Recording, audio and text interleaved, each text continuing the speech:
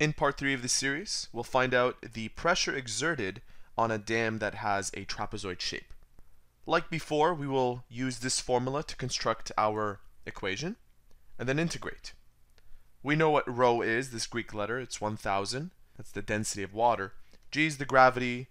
dy will represent y, which is the mini heights of those rectangles that we will use to take the area of this shape.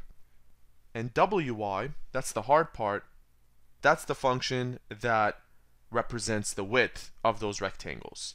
Of course, if we take many rectangles all along this shape, the widths are going to change. For example, the width here is different than the width of a rectangle taken here. That being said, let's get started. Let's start by inputting the values that we know. Force is equal to the integral between a and b. That's the range. So from 0 to 6 along the y-axis, rho is 1000, g is 9.8, dy is simply y because we're using rectangles. And this part, well, we're going to find that next. Here's how to find that. What I will do is redraw this trapezoid over here and then interpret it then. Okay, what you see on your screen is a trapezoid. This side is 9, this side is 14, and the height of this trapezoid is 6. Keep that in mind.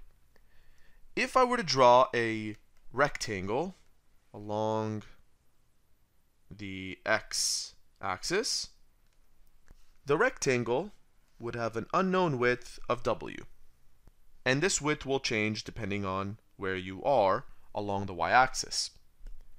We have to come up with an equation that relates y and w. So what I will do is segment this trapezoid into two right triangles, and this part right here is a rectangle. I know that my width, regardless of where I am, will always have a length of 9 plus whatever these are equal to. That's the hard part. To find out an expression that represents the remaining parts of each of these widths, what we have to do is use similar triangles. Notice that we have a right triangle here, and I know the width of this orange triangle.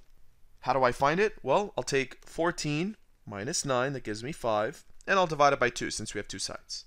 So this is 5 over 2, and this is also 5 over 2. I know the height of this triangle, it's 6 because that was given in the question. So what I will do to compare this right triangle with this smaller one is use ratios. The bigger of the two is 6 over 5 over 2, height compared to the side here. And this part, I'm going to call y because I don't know what that is for the smaller triangle. And I'm going to call its width W1 because W is already taken. And I'll solve for W1. I can do that by multiplying both sides by W1. I'll cross that out. Leaving me with 6 over 5 over 2 is equal to y. Next, I divide both sides by 6 over 5 over 2. Let's clean this up first. 6 divided by 5 over 2 gives us 6 times 2 over 5, which is 12 over 5. And then I'll reciprocate that because I'm dividing it by y. Gives me 5y over 12. So now that we found this very important equation, we multiply it by 2 because this only represents that bit, but there's another side to it. So we multiply it by 2, 5y over 12 2 cancels out, this becomes a 6. And our equation for the width is 9 plus 5 over 6y. I'm going to take this equation now and substitute it into here. I'll multiply this at the same time, it's 9,800.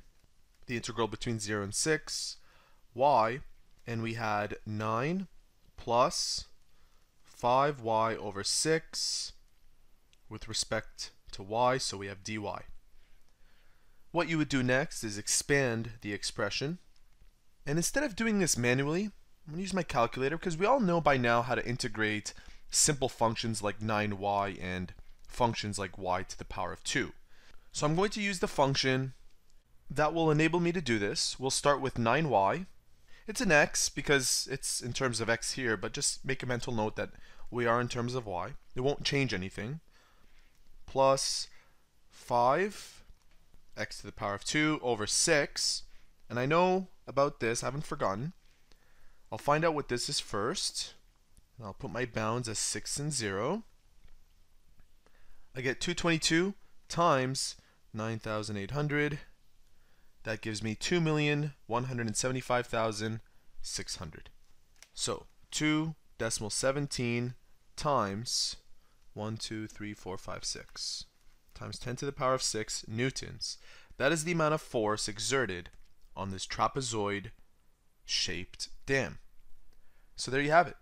That is how to express fluid pressure force as an integral. Make sure to watch part 4 for yet another example.